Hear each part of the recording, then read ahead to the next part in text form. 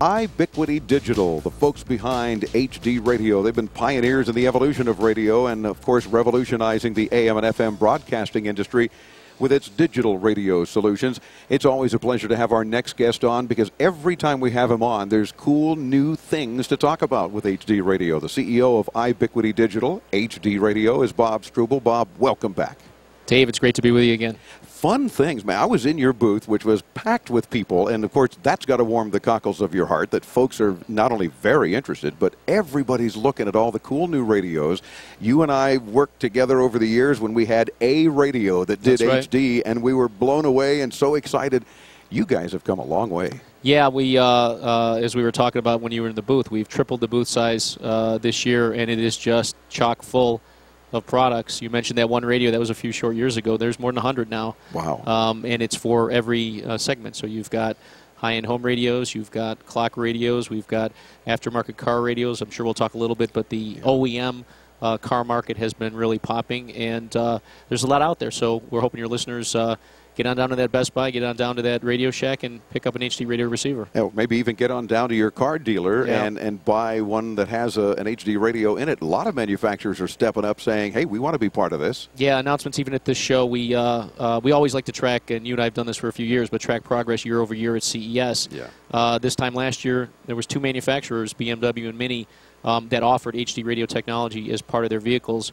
We've got um, cars and announcements from 12 manufacturers now, including this week Kia. But in the course of 2008, we saw Mercedes, uh, we saw Hyundai, and we, we saw Volvo uh, offer HD radio technology, in some cases as standard equipment. So uh, the momentum on the car side, uh, where a lot of radio listening takes place, you know, has been really exciting. And it, it would be rare, I think, that Into Tomorrow listeners wouldn't know, especially if they've listened to the show any uh, length of time. But just for those folks that might not be familiar with HD radio, let's take that step back and describe what it is and how it's all being uh, worked on and so exciting. Sure, sure. HD radio is the digital upgrade to an analog industry. AM and FM radio is, is right now, uh, if assuming we get a TV transition, yeah. the last uh, consumer media that is broadcasting in analog. Everything else is digital. Think of cell phones, think of DVDs, think of television, think of satellite radio. And we need to get radio digital, um, and that's what HD radio technology does. Digital is better than analog. We know that by now. In radio, that means better audio quality. FM sounds like CDs, AM sounds like FM. It means more choice. Uh, by uh, means of a, a, capability called multicasting. Uh, an individual FM station can mul uh, broadcast multiple different audio streams on their frequency so the consumer gets a lot more content and a lot more choice. And as we saw in the booth today, it means a lot more services. Yeah. So things like tagging songs for purchase that you'd like or uh, getting real-time traffic updates and a variety of other things to come. And of course, no monthly subscription fees because you once you buy the radio or you buy the car that's got the radio, you're not paying any subscription. It's over-the-air broadcast radio as you know it, only better and more Man, choices. You're, you're the easiest interview because you know it all already. Yeah, well, I should just do your marketing. You should, but uh, it, that's really the the story uh, for the consumers. You go out and you buy a new radio, which, as we said, are becoming cheaper and cheaper, and you get a lot of new stuff and a lot of new services for free. Well, now let's talk about the number of radio stations that are transmitting in yep. HD and the number of people that are buying HD radios. That's obviously growing, but what kind of numbers we have? It is. Uh, this year we're up over 1,800 stations across Great. the country. Um, if you look at that in terms of penetration, 85% of the U.S. population is within reach of an HD radio station. And in terms of listenership, and we've really focused on trying to convert the stations that are most listened to, half of all listening, uh, radio listening in this country is taking place on stations that have already converted. And again, what that means is when your listeners go out to that Hyundai dealership and buy that new Genesis um, and flip on the HD radio, they're going to get a lot of new content because there's a lot of stations on the air. Yeah, for sure. And, and what's really cool is that you get some great variety as well. A lot of stuff that you might uh, typically not hear on your standard AM or FM. Yeah, that's And those really stations are now saying, well, we're going to give that to you. That's Here's right. choices. Yeah, the, the capability you're referencing is called multicasting, Mm-hmm. um, and that's the ability of an FM station to do multiple audio streams. Uh, a lot of times they're called HD2s uh, or HD3s.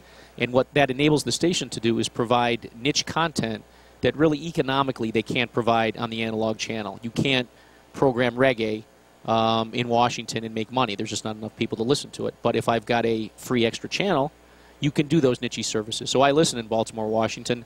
We've got gospel. Uh, we've got bluegrass 24 hours. We've got indie rock, unsigned bands. We've got three channels of C-SPAN. We've got the British news service. So uh, a lot of really cool stuff. That uh, just wouldn't be available on the regular analog channels. Exactly. Now, talk about one of the things that's got me pumped as I walk through your booth, and that is the first ever portable Yeah. HD radio. It- and this thing is amazing. It's a breakthrough. Um, we've been uh, toiling away in, the, in sort of the back rooms developing chip technology, and what you need to do with chips is have them operate at a very low power if you want to get them into portable devices. We've accomplished that. Uh, the device that you and I were looking at in our booth is a, uh, uh, a cigarette lighter sized uh, device, which is not only an HD radio uh, receiver but also an MP3 player. Um, people can put it on their arm when you're jogging around town and want to listen to those cool new stations on the Yeah. HD2s and HD3s.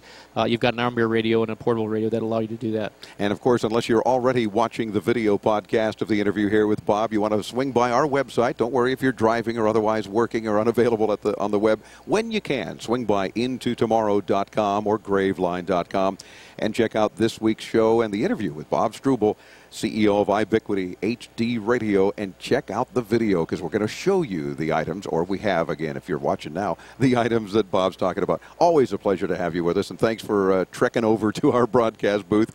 And uh, when you get a chance, see some of the other cool stuff here at Innovations Plus. We're going to walk around. Wouldn't miss it, Dave. Thanks again. Terrific. We're back with more from Las Vegas. I'm Dave Graveline. This is Into Tomorrow on the Advanced Media Network.